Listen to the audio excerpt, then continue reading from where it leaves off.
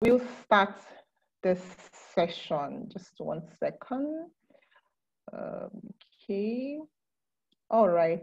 Okay, everyone. Good afternoon, everyone. Thank you for joining. Thank you for making our time.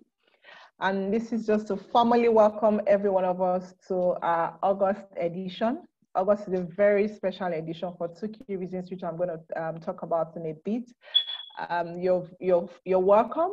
This is a platform where we use the concept of storytelling to learn about real life issues where we share our thoughts, our strengths, our vulnerabilities, our challenges, as we make the learning re real here so everyone can relate to you because research has shown that one of the best ways to learn is through storytelling.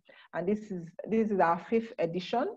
Um, I always say that we are first humans before we became professionals. And for us to, to ensure that we're at our best as professionals, then that's element, that human element of us that we need to pay a lot of attention to. So today's edition is a very special edition. We have um, two critical activities today. The first is the fact that today's edition is happening on in the month where we are celebrating our 60th independence as a country. And on that note, it's important that we recognize Nigeria. Um, and afterwards, then the second reason why this edition is also special is because given the current situation that we're in with regards to the protest by our youth around Nigeria reformation, national reformation, it's also critical that our discussions also speak to, to, to that. So on that note, I'll play a one minute jingle just to welcome everyone officially to my HR storybook series. this one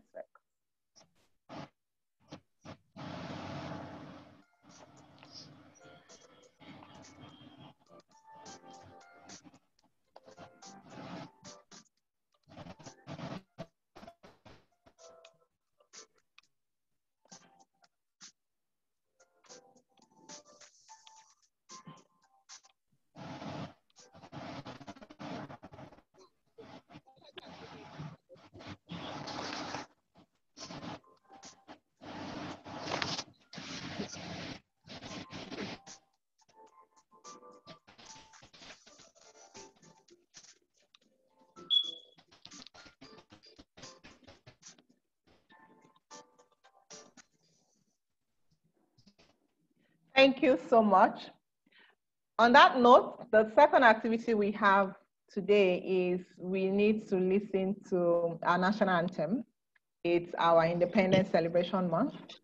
And as faithful Nigerians, on that note, I'll turn over to Damilare to take us through the national anthem. Thank you.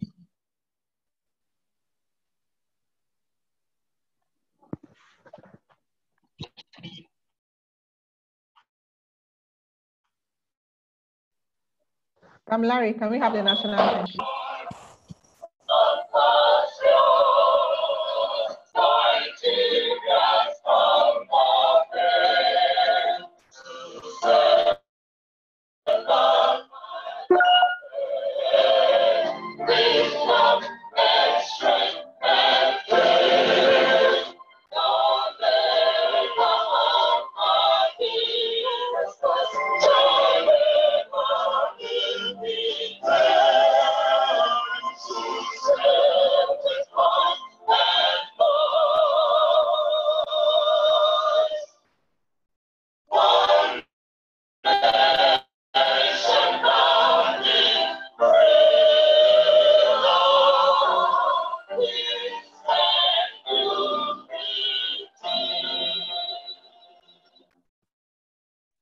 You very much, Damilare. I also think it's also important at this time to observe a one minute silence for our youth. Um, the, the couple of people that have lost their life recently um, to SARS brutality, police brutality. Um, they are part of us. And on that note, I'd like us to observe a one minute silence for our youth. They are our heroes. Thank you.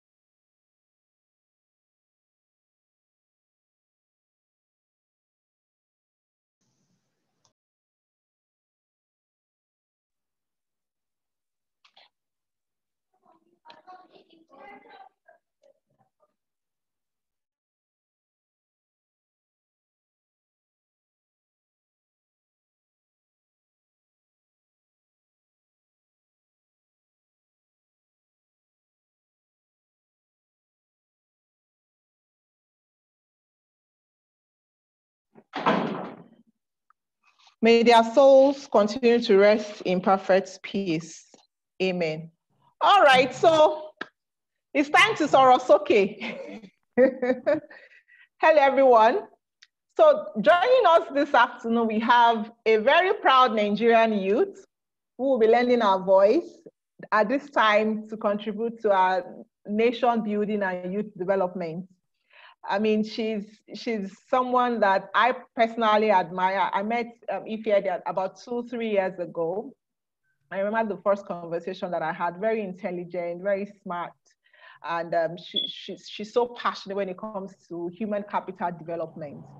Um, I'm going to read her profile out very briefly. So, Ifeadi is a grounded professional in strategic people development, workplace design, workplace experience design, management consulting, and of course, HR consulting. You're breaking up, now. Is it me? Pardon? I can't hear you properly. Oh, you can, can you hear me now? Okay. Yes, yes. Okay, great. Thank you. So um, Ifeadi, who is our guest speaker, she's someone who is very passionate about human development. I mean, she's, she's led many successful professional support programs and initiatives to young and experienced talents and, and businesses across um, Africa. Uh, she's the founder of HR in Tech, an initiative that brings together HR professionals practicing in the tech and innovation space and the career banters with Ifeadi. Um, it's, it's a CSR initi initiative where she helps young professionals align their career goals and professional development. She's an international speaker, a seasoned career coach. Um, she holds degree in HRCI Global Professional as GPHR. She's a member of SPHR and of course CIPM as well. She recently received um, oh, she has recently received both local and global recognition for her work in supporting young talent and organizations through professional development and was recently awarded one of the top 150 global HR influencer and a top 50 career influencer in, Africa. Um, she, she's here today to share her story, her experience and views on her journey to success. I mean, because we're at a point in Nigeria where our youth are creating their own story. You know, so our, our youth have looked at our history as a nation, and from our history, they're defining their own story. I mean, so our history in the last 60 years, there, there hasn't been a lot of wins for us. And they're here to change the narrative. They're here to make a demand for what they want. We are here to say, to support our youth that together we want end to SARS, end to police brutality. We cannot have people who were hired to protect our nation. Yes, we can't have them killing our future, killing our human capital. No, today we are going to talk about what we need to do, right? And, and as professionals, how can we begin to lend our voice to, to national development? You know, there's a lot going on. I remember two years ago, one of my husband's um, nephew went to work. He, he, he works in the aviation um, industry and um, he runs shift. So one morning after running his night shift at about eight o'clock on his way home, just at Ikeja along, I mean, the SARS vehicle came and they packed people from bus stop. You know, we didn't find him for two days. Unknown to us that the SARS people had taken people randomly. This someone just young guy, just coming from from work you know, and he was there for two days until eventually got someone to call us and all of that. It was two days of emotional, emotional unrest. We're all worried as a family. Eventually went to bail, him, though they, they said bail is free, but we paid. You know, he was lucky because he got out of that scene. I don't want to talk about what he went through, but was horrible. But some people have lost their lives already, and we can no longer keep quiet about this. So today we want to talk as professionals. It'd be nice to hear from Ifeadi, who is someone who is leading a lot of youth, I mean, the Gen Zs and the millennials are in our workforce. And they are the ones who are largely impacted by you know, the brutality that we experience from our security system. Um, so Ifeadi, thank you so much first and foremost for accepting to join us this afternoon. It's a really emotional one for me. And um, I would like to hear from you. What, what were the challenges that you had to face, you know, building your career from, from, from the onset? Because right now, the, the, the, the way of working has changed. In, we no longer need young people to be in a particular place to work. Now it's work on the go. They go, go with their laptop and their gadgets. And this, this, is, this is their work instrument. And this is what is being used, right? A part of what is being used to, to molest and harass them, given the fact that, you know, they also have all the, the looks and all of that. And also given the fact, in addition to that, we have a very creative generation. I mean, these are the guys who are innovative and creative. They, they turn things around. They look at you and they turn your look around. They, they, they change so many things. They're highly creative. I have a 12 years old daughter at home. If I think I've done something, I just need to call her. She brings different perspective and different eyes to things that I've done. Say, mommy, why don't you do it this way? Why don't you just change it? And everything just comes out looking more beautiful. And that's the generation that we have. But they are being misconstrued, you know, they are being mis misrepresented, and by they are being misjudged by their strengths, which is in the space of innovation and creativity. If I'd like to start uh, from you. Let's hear your story. While you were growing up, you know, from being a young HR professional to where you are today, were there challenges that you experienced? You know, let's, it would be nice to hear from you. Over to you, and thanks so much once again. Thank you very much, um, it's a pleasure to be here. Thank you for having me. Um, I mean, it's also quite uh, touching, emotional, and you know what we're going through as a nation, and you know the fact that the youth are raising their voices, and we're having challenges to be heard, to be spoken to, you know, for the challenges to be addressed. So. Um, so if, if Annie, can you please speak up? I mean, you're sounding a bit distant though. Okay. Where is it Yeah. Okay, so um, yeah, so it's it's it's pretty much a challenging time to be here. Can you hear me better now? Yes, it is better. Thank you. Pretty much a challenging time, um, but I'm happy that we are here, and I'm glad that you know, as people who lead other people, we are looking at these issues and we are all getting involved. To be honest, I encourage everybody. We need to get involved in what's going on in Nigeria. Now, if I look back at my career story, maybe it could have been different, or maybe you know things happened for a purpose. But it all boils down to the fact that you have a country that works the way it works. So sometimes you're out of school, you have plans for yourself, things just don't go, you know, the way you you planned it. So it's so rough and so tough out there. I mean, I always tell people that someone like me, I never, you know, really, I never had it on a platter of gold. Like I had to walk through everything. I had to struggle through everything to get to get everything. So I, I just and I didn't have like anybody. I didn't have a godfather, a godmother. I didn't have anybody anywhere that I could say, oh, do this for me, do that for me. But as I went through, um, I learned. So the key thing for me was starting out my career. I always wanted my, know, start my career in HR. For some reason, I think pretty much uh, maybe because you know I grew up with parents who were teachers and counselors, so I wanted to be in HR. I wanted to support people, help people, and that was how you know, that dream of um, working in HR came about. And when I came out, I tried to actualize that dream, but I found myself in a team where I wasn't growing, nothing was happening. I was, you know, I, I didn't like the kind of practice, HR practice I was doing on there. So for some reason, I, I sort of preferred to step away, um, just go do something else. And, you know, just take my time to learn the ropes the right way. So it was quite challenging and then I decided to move into customer service. And for some reason, finding my foot back in HR was, you know, such a big um, struggle. I mean, it, was a lot of things that I had to do. But at the end of the day, one thing I can say is that it wasn't a walk in the park. And that's why I always tell people who are trying to come forward now. You're young, even if you're experienced, you're trying to, whatever it is you're trying to achieve in your career. I, I, don't, I know so many people never had it, you know, we never had it perfect, but, you know, we just kept pushing, just didn't give up, just didn't want to be defined by the Nigerian statistics that, oh, you come out of school, there are no jobs, you have to join this, you have to do that, do that. We didn't want to sit back and just do stuff. So we wanted, I know a number of people who are like that, and I was one of them who just wanted to defy the odds and just, you know, go through the process without giving up. So, yeah.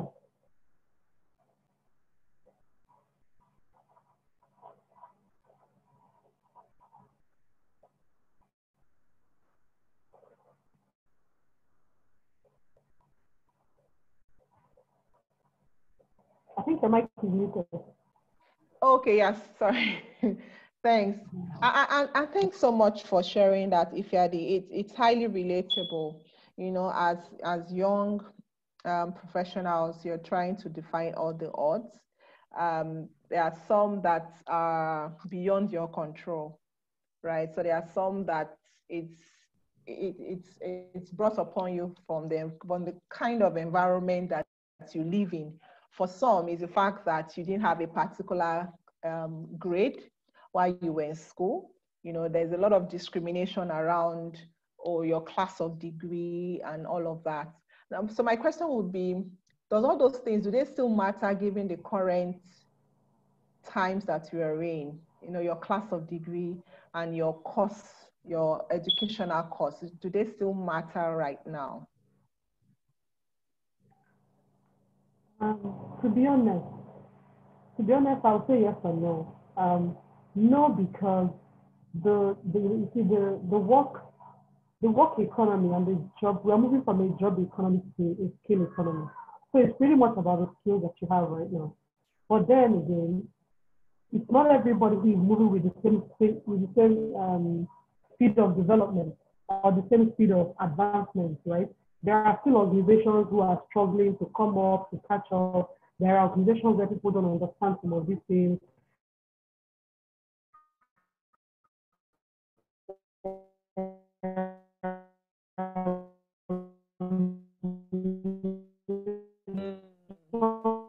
If you're your network, we're actually struggling to hear you.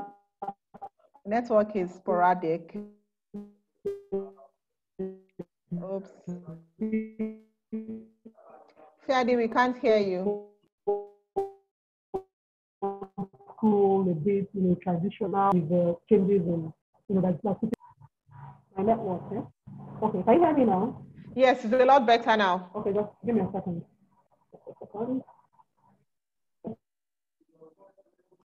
It's a lot better. Okay, thank you. Hello, can you still hear me? Okay, now we can hear you, but we, we, we lost your uh, last statement for about 20 seconds ago. Okay. Okay, so I think our have transformed. The, the work itself has changed. Even the workers have changed. But you see, there are a lot of organizations who are still yet to catch up with that change. There are still organizations that are traditional, that do something. And to be quite frank here, one of the reasons I do what I do is because of how much struggle I had, you know, trying to build a career. Now, you find out at that time, you have organizations who will tell you you must either have a 2-1 or a first class in so, so, so, so, so, so, so. And then you're just wondering, and you know, this, this, this trend was mostly by some big organizations, and then even the smaller ones just keep on the trend. But somebody, ask a recruiter, why do you need a first class or a 2-1 card? They don't even know. They just see it somewhere. Somebody walking through my years of, you know, my years in work, I found out that the fact that someone has a first class doesn't necessarily mean that they will be smarter or better at doing a job. With what we have now, like I said, the job, the job, the work world has moved from a job economy to a skill economy. It's a matter of what skills do you have. I'll give you a typical example of my workplace. I work in the technology industry, so I work pretty much with developers every one of them, as you can imagine. System engineers, iOS developers, Android developers, every one of them, you know, the um, system security professionals, as much as, you know, as many of, you know, the professionals in technology you can think of. But, you know, one of things, integration engineers and all of that. But one thing is, we found out that sometimes the people we need might not even have, you know, very, all those kind of degrees that people are looking for. So you're looking at their skills. Yeah, you're looking at their skills. So in my work for that, we have quite a number of people that do not either have a degree or any maybe all of those overly embellished forms of education and stuff like that. And guess what? They're still doing well. And I tell you that, you see, one of the challenges we have in terms of talent is not even like local employers. So I sit down and I find my developers getting jobs abroad, country, and being relocated. So those are even the challenges, even, you know, the people that, um, it's, a global talent uh, struggle for us, yeah? So, and then, like I said, these are some of these people are people who don't have a degree, don't have any, but it doesn't mean that they're not skilled. It doesn't mean that they don't have what it takes to do certain jobs. And I have even seen some of these guys who didn't have like degrees, who just have technical or practical trainings on the side. I've seen some of them do way better than those people with even master's degrees and all the rest. So I keep saying this to everyone who says to this. Academic intelligence is not a measure of success and real. That's, that's a key thing for me. It's good, not that you can't take it away, but it's not a measure that someone would either do well or not, or maybe like you didn't go to school or you don't have a two one or you have a third class that you never succeed. No, mm. I don't. I, I I don't agree. Okay, thank you so much, Ifeadi, for sharing that. Um, just to also mention that yeah, although you're sounding a bit distant, I'm not sure if you can get your headphones. That might really help the, okay. the so maybe the I, I think I, I probably need to take out my earphones. Just give me a second. I think yes. My okay, please. The problem. Okay. So I speak directly from my laptop. Okay. So while you're trying to get your headphones, the, a couple of questions have started coming in. And um, of course, this speaks to what we have faced as HR professionals at our various organizations. And the whole idea here is to hear and share and learn from one another. I have my first question in. I'm not sure. Can I go on and read out the question to you, if you Ifeadi?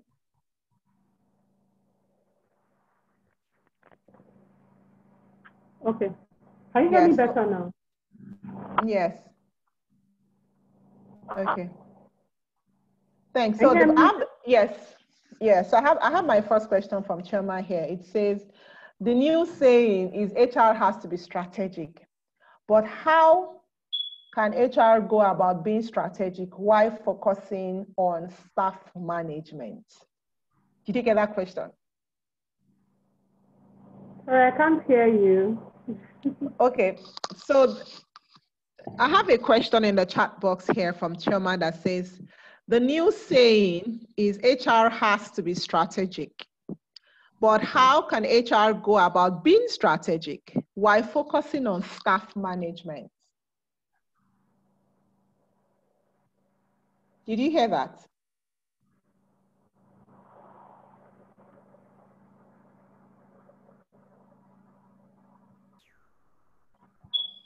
Hello, Ifeadi, are you with us? I think she's got really, really bad reception. Mm, I think so too, because it doesn't seem like she can hear us. I think maybe if you can chat her to uh, log off and log back on, because I had to do that. Oh, really? Okay. So, Ifeadi, if you are with us, uh, let me just send her a chat. Um, a moment. Maybe I try to switch my network. Okay, now we can hear you. Okay, we'll give you some time to try and switch your network. Um, these days you can't you can't just have one network. I have like three or four in my house. From one network service provider to another. I mean, you can't even vouch for for for their connectivity strength, for a consistent connectivity strength. I've had to, one, one day, one provider is up, the next day, another provider is down, and you just have to continue to switch over. Ifeadi, are you with us now? oh, I don't think so because her screen is frozen. I mean, that's the reality that we are in now. Oh, okay. So the assumption is she's she's locked up to relog in as she switches and um, um, switches her network and relogs in to join us. Okay, so thanks everyone. Please let's keep the questions coming in, in through it. We'll have our guest speaker share uh, with us. And if anyone wants to um, add any comments or any thoughts around the question, please feel free as well to, to jump in. Don't know what's wrong with my screen. Okay, yep. I'm not sure if you have the raise hand button. Yes, you can use the raise hand button as well. Um, it's, it's really, it's, it's really been a, a moment of reflection for, for us as HR professionals.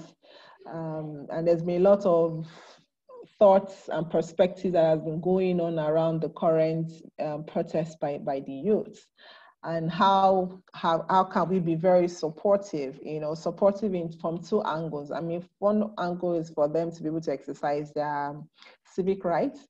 The other angle is also for their health you know um, given the fact that they need to also be mindful of covid-19 protocols okay i think i'm back okay. Oh finally this is a lot better Ifeadi okay so let me read out Sorry. the first question yes, it's a lot better. Okay, so the first question I, re I read out was from Choma. Uh-oh. Ifeanyi, can you hear me? Hey. Hey. Oh. Ifeanyi, I'm not sure. You, you sound louder though, but uh, your voice is a bit... Um... Yes, I can. Okay. I hear you. Right. Okay, great. So I'm reading out the first Hello? question. I can hear you. I'm reading out the first okay. question. Yes. So the first question is from Choma. It reads, the new saying in, HR, the new saying is HR has to be strategic, but how can HR, HR go about being strategic while focusing on staff management?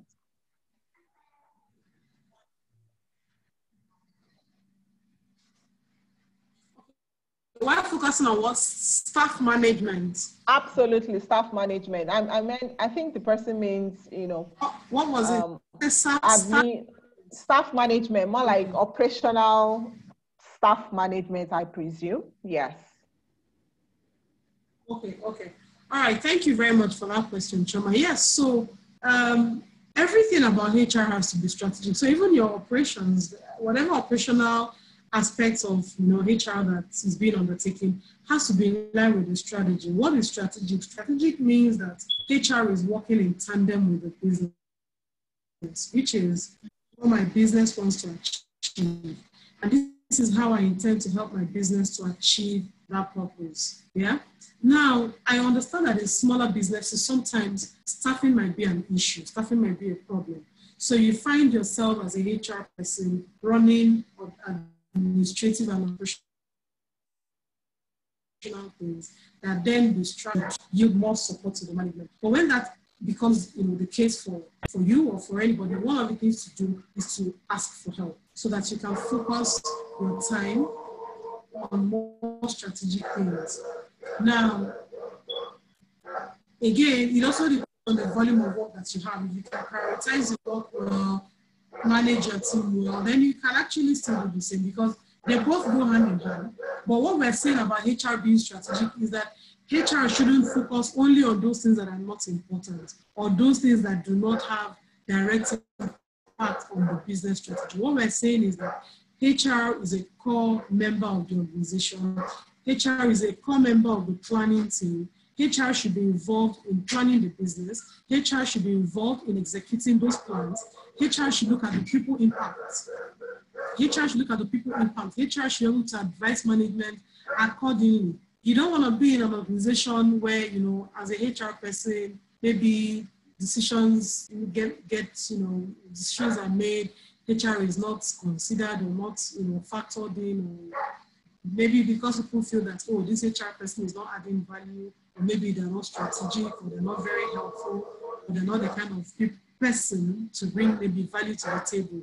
That's what one wants to avoid as a HR professional. So, as a HR professional, you must know your money, you must know your work end to end, and you must understand how your work interfaces with management and with the business, overall business objectives as a whole.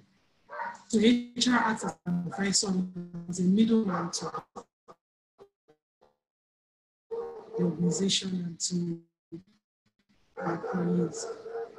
So yes, you should be able to, uh, an offshoot of okay. strategic plans that the organization has. So what uh, you know, operation you're having is still tied to the strategic goals of the business. Okay. Thanks, Ifeadi, for sharing that. Shall I hand up? You want to add to that?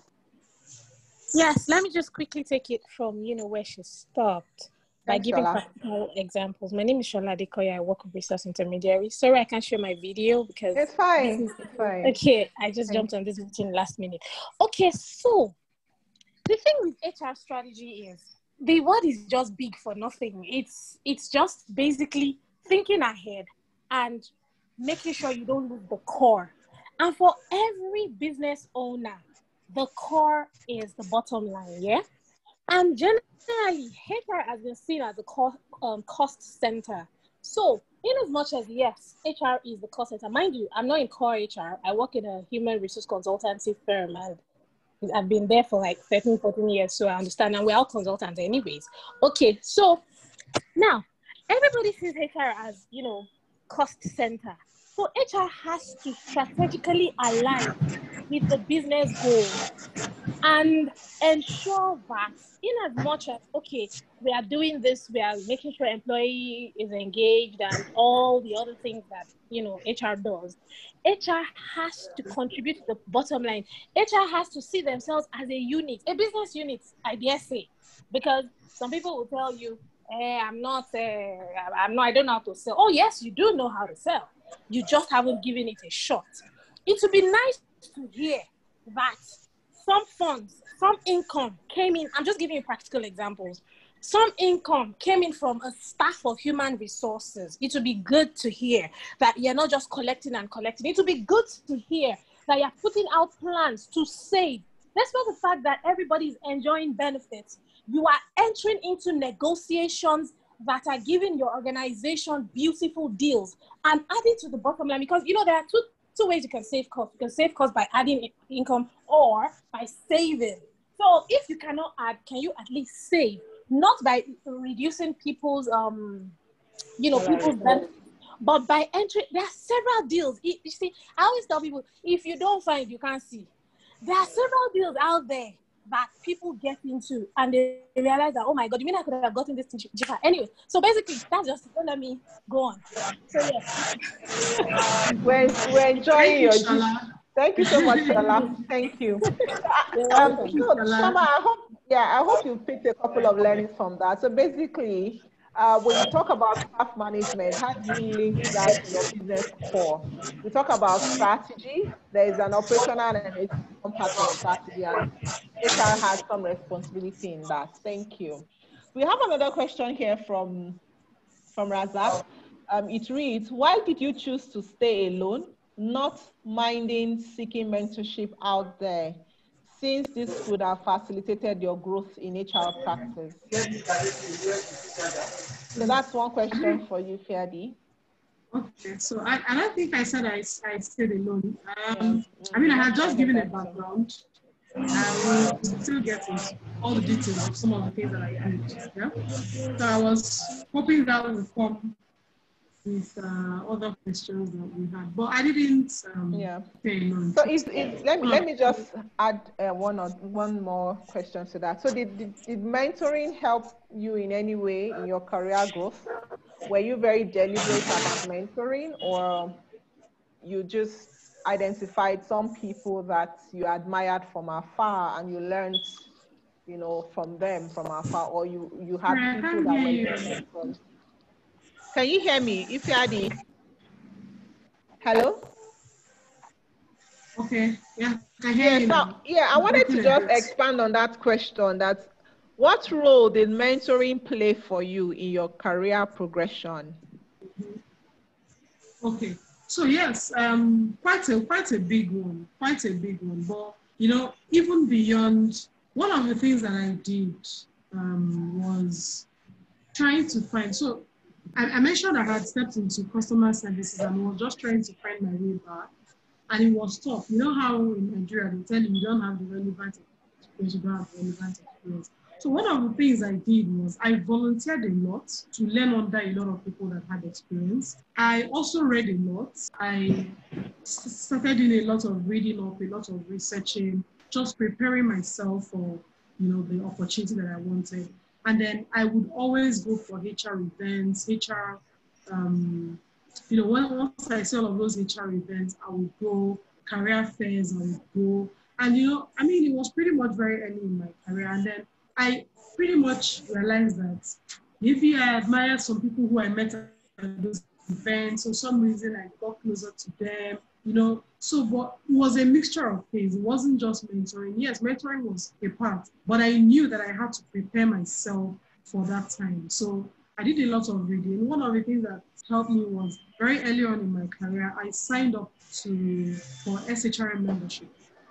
SHRM is, you know, the largest, uh, the largest, you know, like association network of HR professionals around the world.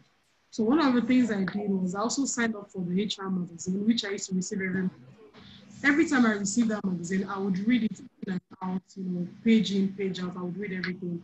And then I used to log on to SHRM website as a member to access some member resources. I would read so much. I would learn, you know, how to use some templates and some forms. I would just learn more about strategy, about how to do some things the right way. So I always, you know, say that you know, I didn't learn my HR somehow the local way. I sort of learned by reading multiple articles on SHRM, and it sort of prepared me, know, a best practice mindset, sort of a best practice mindset, sort of.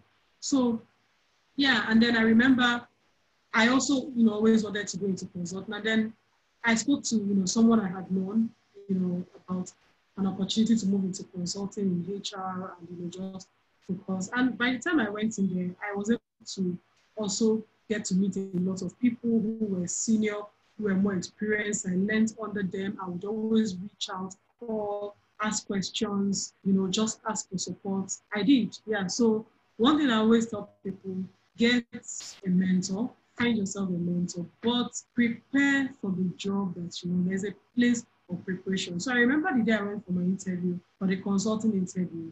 I mean, I didn't have, I wasn't like the best, you know, when you talk about work experience per se, I, had, I didn't have any consulting experience. I didn't have any, you know, like the kind of HR experience that one would want to see in, in, in, in HR consulting. But the conversations we had at that interview made it clear to the interviewers that this is somebody who is passionate about this field and this is somebody who has been preparing for this field. And I mean, I think that was the basis for everything. And then, you know, the hunger, the passion was very evident. And that was how, you know, I got that opportunity. And it's really helped me grow in so many ways.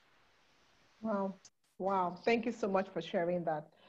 I have another question from, from Razak. Is did you later in the course of your HR practice or enjoy office politics? I didn't get that. Hmm? I, I have a question here, another question mm -hmm. from Razak. Can you hear me? Okay. Yes, I can. Yes. I can hear you. Yes, it reads, did you later in the course of your HR practice or enjoy office politics to excel in the organization you, you had worked for? I didn't get that question. Was did did you did you did you in the course of your HR practice or your HR career, did you practice or enjoy office politics to oh, excel in yeah in the organization that you have worked for? I mean, that's one topic that if we if we talk about it today, we won't even leave this we session. won't finish. so the thing is, um, see the thing when you say office politics, uh, it's it's it's it's quite broad. And what I one thing I will say is, I think every organization has office politics, but there's a place of emotional intelligence and a place of wisdom, you know, in navigating through the workforce. Because I say that because people are different. People are not going to everybody's not going to have the same opinion. People are going to have different opinions. You are going to be an individual that has your own opinion. You have your own um, ideals, your own, um, what do you call it, values. And there will be certain things that will not appeal to you. But you will at some point need to get your work done, cooperate with your colleagues, you know, not be seen as somebody who is, you know, not doing what needs to be done or what, you know, not, not lending your hands as a member of the team to move the work forward. So there's a place of wisdom, you know, know what to accept, know what to not accept, know what to get into, what not to get into.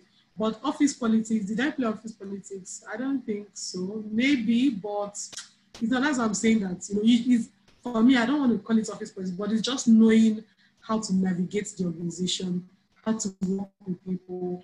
You might have someone who is maybe bossy, erratic, or whatever. Just knowing how to, you know, work with their personality is the key thing. Yeah, it's not so it doesn't have to be, you know, like dirty and uh, you know those kind of things that people think about. No, but I am someone who, if I work in an organization or if I meet people, I just try to understand them thoroughly. I try to understand people I work with thoroughly. So you know, because you know, people have different personalities. Like I said, um, you want to, you, you don't have to change your personality to please people or whatever, but you just need to know how your personality rubs off on their own and how you can control that in the work environment to achieve work success. Okay, thanks, Ifeadi. So you you had you mentioned earlier that in the workforce we have different people with different opinions, and, and that was going to take me to my question around the different multi generation that we have in the workforce today. I mean, research has shown that we have four uh, generations in the workforce, from the baby boomers to Gen Z, Gen X, and um, Gen Y, and millennials. You know, so my question is, given the fact that we have more personalities in the workforce, how can we as HR begin to integrate um, the acceptance of these varying personalities into our organizational structure? I mean, recently I was interviewing for a particular role, and I realized that there was a particular generation that already interview, the conversations were just different.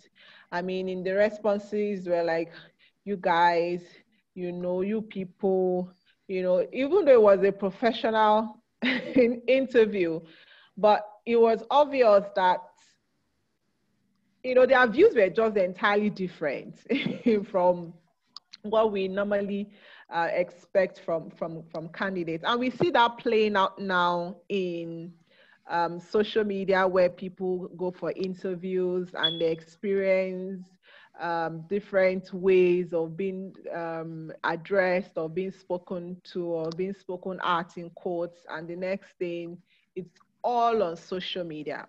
So as HR professionals, what, what advice would you give, given the fact that we now have more Gen Z coming into the workplace, and we are sort of used to, uh, we're sort of accustomed to have a particular way to um, manage people, but now we have an entirely different workforce that they see things entirely different from how we see things. So how do we manage? How do we integrate that?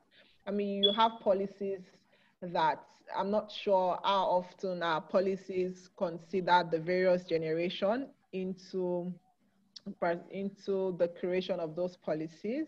How do we manage? How do we integrate? How do we understand them to ensure that our organizational system fits into the varying um, multi-generation we have in the workplace today?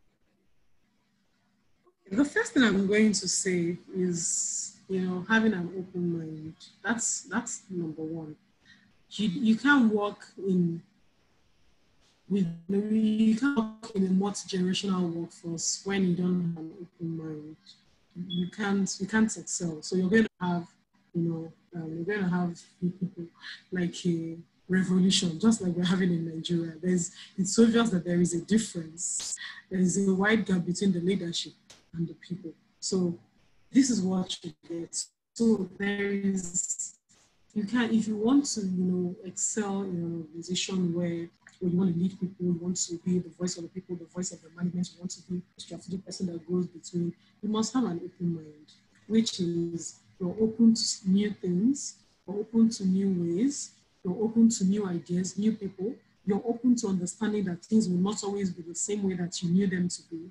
You're open to understanding that the world has changed, the work has the work world has changed, you're open to understanding that the current workers are very opinionated. They have a voice. They, I mean, they would respect you because you know they have to respect you. But you get on their toes, they definitely know what to do to you.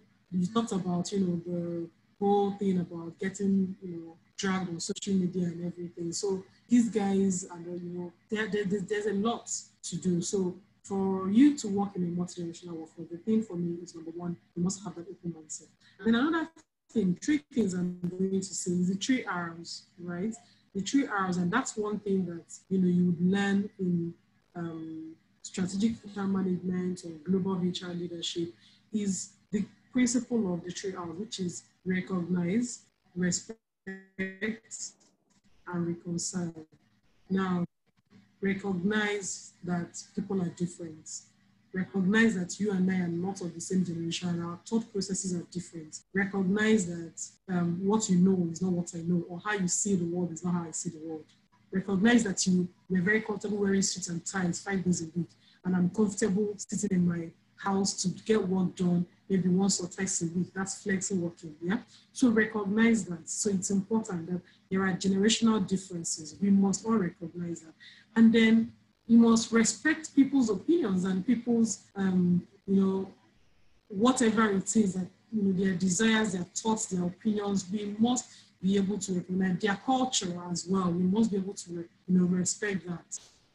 As much as we want to have a, of course, a, a, a, a common culture for the organization and all whatnot, when you join an organization, you should align, but we must also respect the fact that people come from different backgrounds. Now, you work in a, in, in a multinational, for instance, I mean, in Nigeria, talk about, you know, um, LGBT rights, there is a 14 year sentence for, you know, that, but to work in a multinational where, you know, somebody who is in that, you know, category of individuals is being sent to the organization and you're here in Nigeria. So you must be able to recognize those things they have their rights in whatever country they're coming from. They're coming here, you educate them, but you respect them. It's not your business what their sexual orientation is, what their thought process.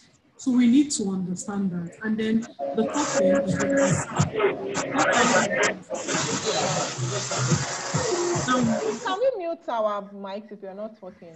Sorry, Ifeadi. Please go on. Apologies for that. Now, what are we reconciling? We are reconciling the fact that we are all different that we are different generations, that we all bring different things to the table, that we are, that, you know, diversity is important and beautiful, that wherever you come from, whoever you are, that your own thoughts, opinions, ideas are important. And the fact that we can all bring all our differences together to create one wholesome, you know, um, well, how do I put it? And we can all come together to build an organization that is built on, you know, specific ideas. To achieve, yes, to so achieve that's a common really, goal.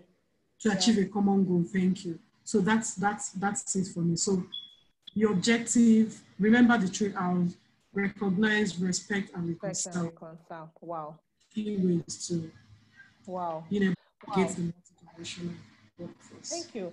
And I think I think that is very powerful and, and, and spot on because really it starts with our mindset first. If we have our mindset open, would embrace, would would respect, recognize first and foremost because we're aware that this these are the peculiarities that comes with all the various generations that we have in the workforce now. And then we respect it. So, okay, this, this is you, we understand, we respect, and then we reconcile. So I think the reconciliation part is the most critical part, where we're able to bring everyone on board. Uh, I, I see it as that's the inclusion part. So the, the you recognize that diversity, then we're able to bring everyone together to ensure that we achieve a common goal. Fantastic. Okay, so I have one question here from Razak. As HR practitioners, um, how would you view, okay, as HR practitioner, okay, how would you view the recent protest championed by youths, EndSARS and SWAT?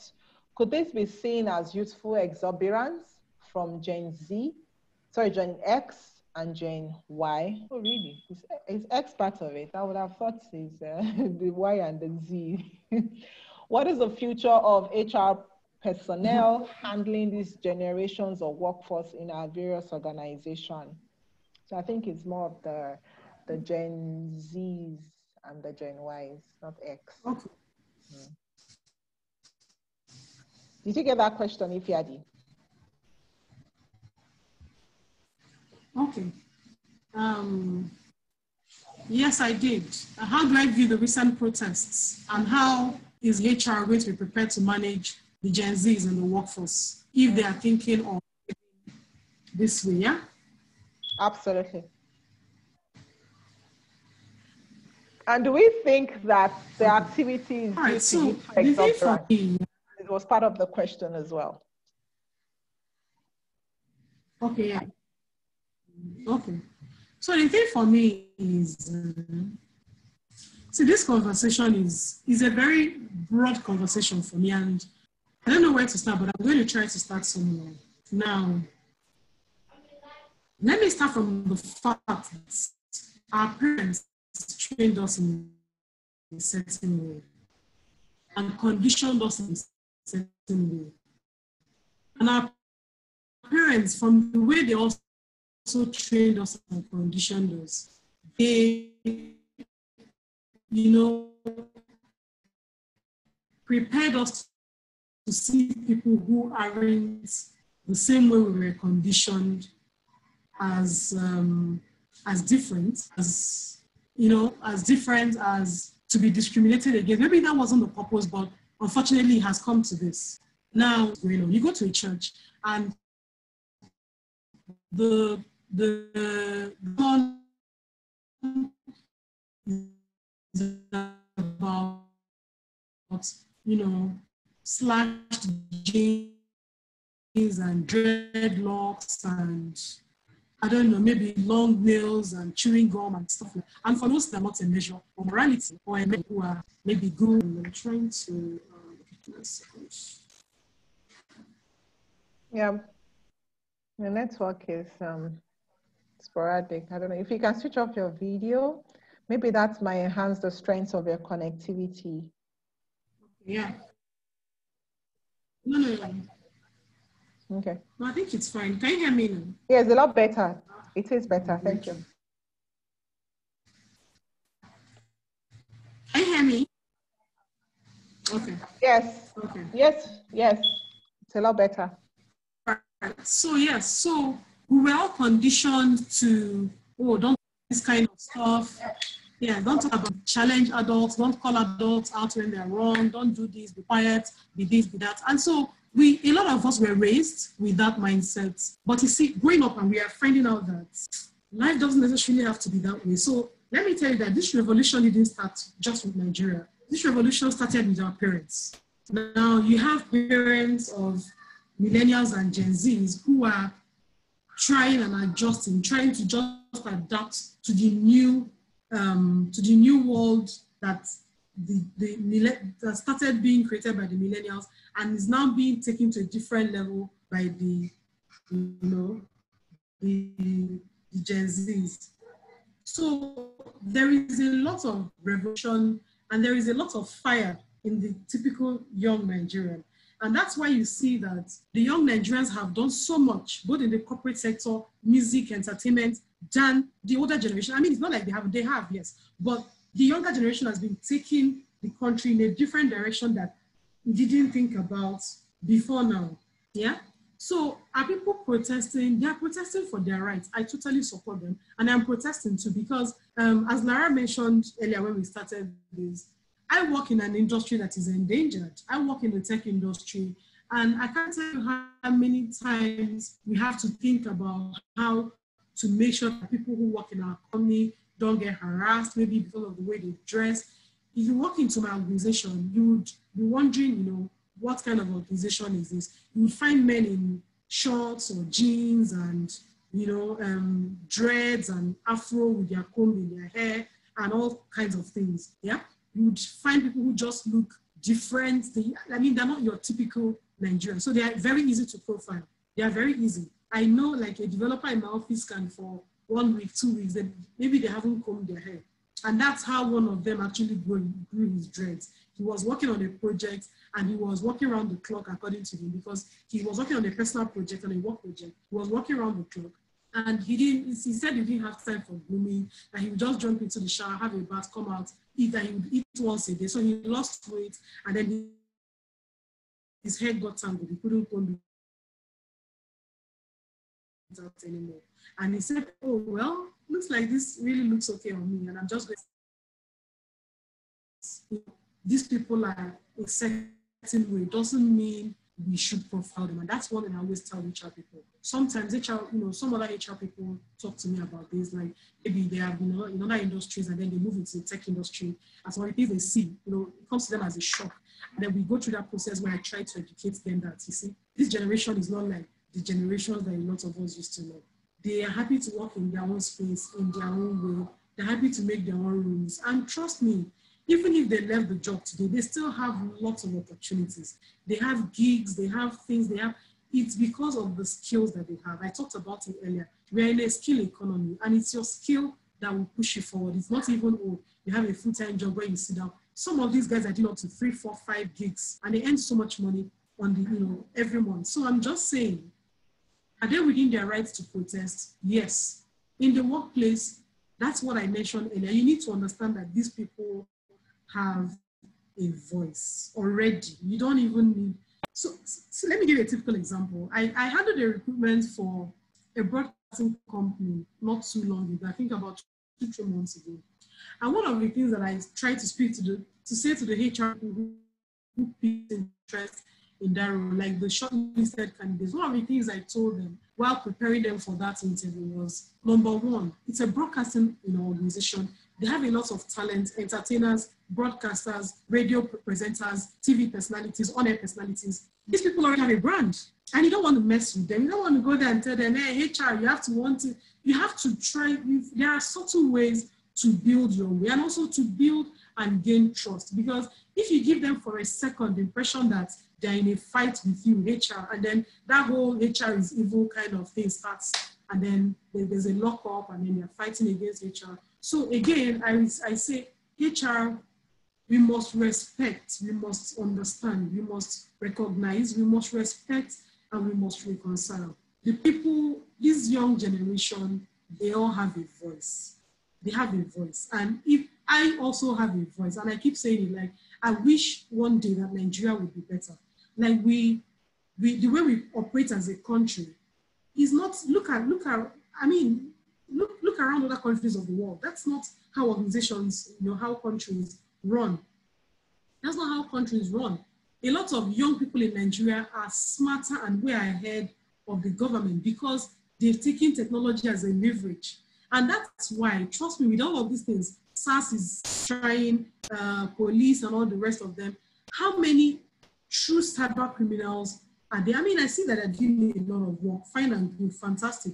But there are many cyber criminals who are so sophisticated that our law enforcement cannot even think about that level of sophistication to crack down the things that they are doing. Yeah. And then they would want to arrest some people. Oh, they see somebody on Instagram, maybe and then they say, oh, what does, this person do? Arrest them, query them, but they don't even have the tools to investigate. But these youth we are talking about are far ahead.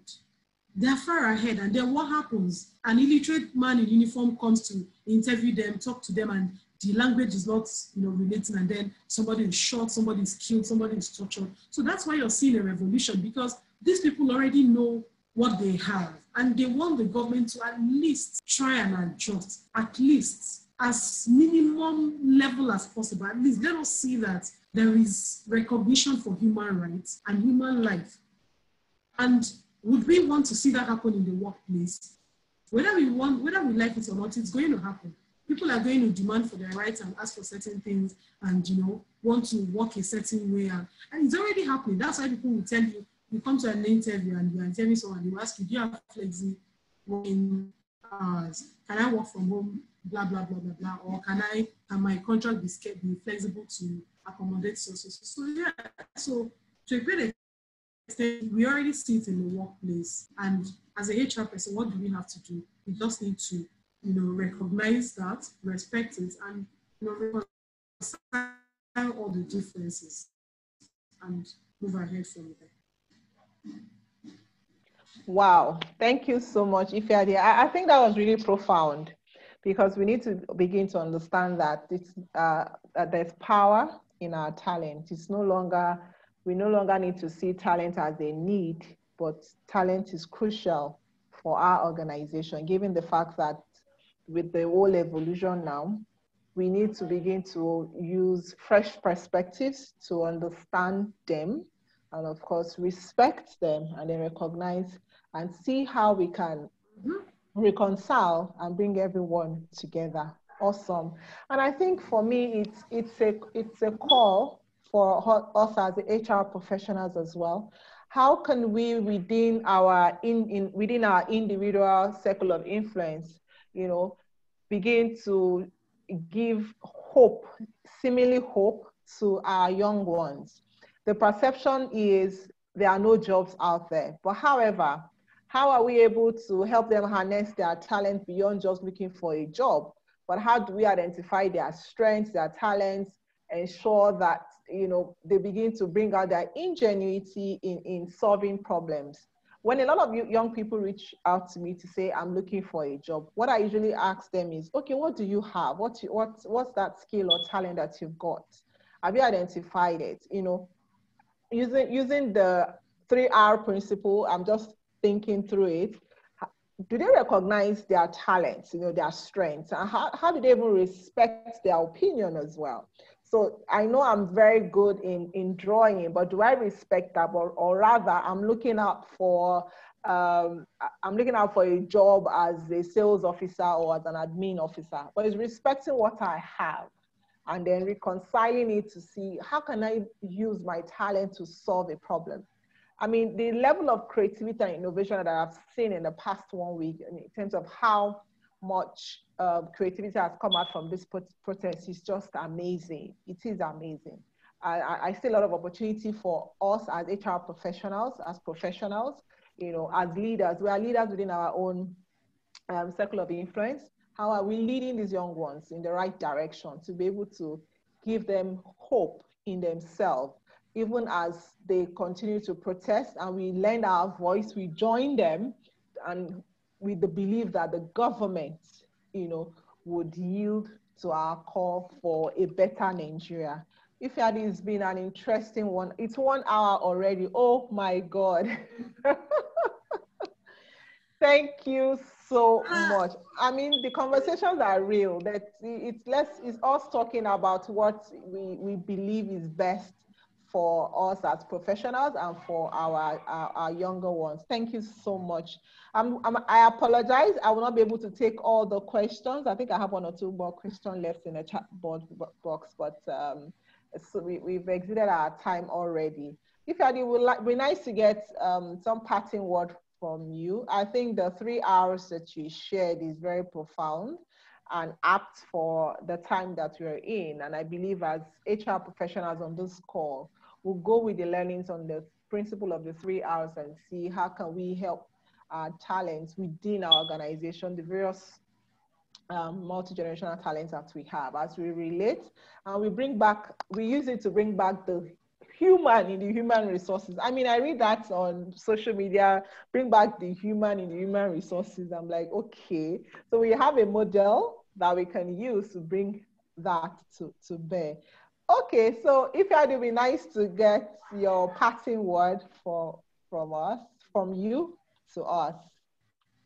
Thank you, Coach Lara. Uh, Shaw, I see you. I see you, and I see uh, your commentary on our parents' educational system, and uh, yeah, yeah, so this generation. They are woke. They are, woke. They very, very woke. Yeah, but we, we need to be able to That's all. them. They are woke. they are woke, yes. They are woke. yeah. So yes, um, parting words for me would be first of all, um, please let's. I I support this. Exact. Nigeria. Exact. Um, I don't know how many HR people are here. HR people, you can attest to the number of your workforce that have relocated or left the country in search for greener pastures, better living, and a better, just better lifestyle. So, yes, this concerns all of us. The same man has been in the same man who was in government in the year I was in diapers or in the year I was born is the same man who is in government in 2020.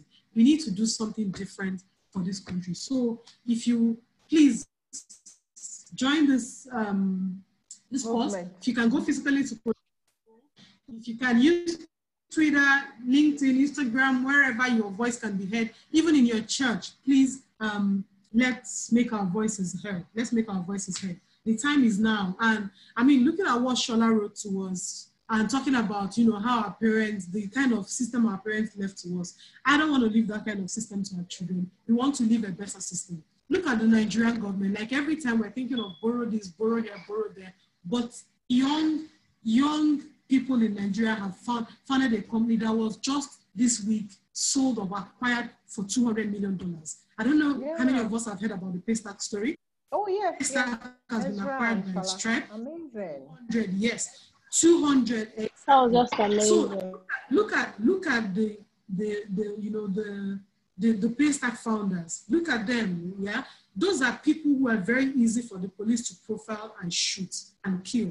Now, how many people whose stories would have been great have been wasted? So those are the things. So I encourage everyone. I'm very much, you know, with this cause. Let's, you know, do this. HR people, our voice can be heard. My industry is endangered. My talents are pretty much every day on the run from police people because they are carrying laptops, MacBooks, computer gadgets, and they're working on you know, systems and you know um, technology products that are being asked, oh, what is this? Um, you're hacking a system or you're stealing something or doing something which is false because those people do not even understand what these people are doing. So let's all lend our voice to this protest, to this um, demand for a better Nigeria. For me, it is police reform, not only SARS, the entire police needs to be reformed and we need a better Nigeria. So that's it for me. So HR people, don't stay silent. You are the custodian of the law, the policies and organizations. Raise your voice, show that you care, show that you want to leave a better country for your children. Let's not leave the kind of country that our parents left. And also join your voice and let us, you know, speak against, um, you know, profiling, you know, profiling people wrongly people where the car they drive. I have a cousin who is about to you know resume work outside of Lagos and he wants to you know remove some things of his car. Just so let's lend our voice to this cause. Um, that's that's that's the very very passionate and important thing for me right now. Yeah. But then again, uh, the important aspect is people. We have to keep innovating, keep staying true to the times, keep having an open mind, keep having an open mind um, Nigerian youths are lazy, Nigerian youths are stupid, Nigerian youths are foolish, Nigerian youths are this and that.